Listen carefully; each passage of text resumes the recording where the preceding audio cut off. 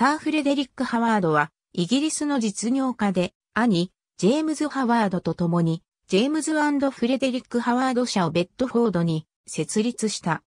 フレデリック・ハワードは、1827年9月28日に、ジョン・ハワードの一番下の息子として、ベッドフォードのコールドウェルハウスに住んでいたジョンと、母、エリザベス・ハワードの間に生まれた。ハワードの両親は、非国教徒であり、彼は、ベッドフォードのウェスレー派、メソジスト教会で、1827年10月25日に受選した。ハワードは、ベッドフォードモダン、スクールとベッドフォードスクール。1851年、ハワードは父から農機具の製造業を継承した。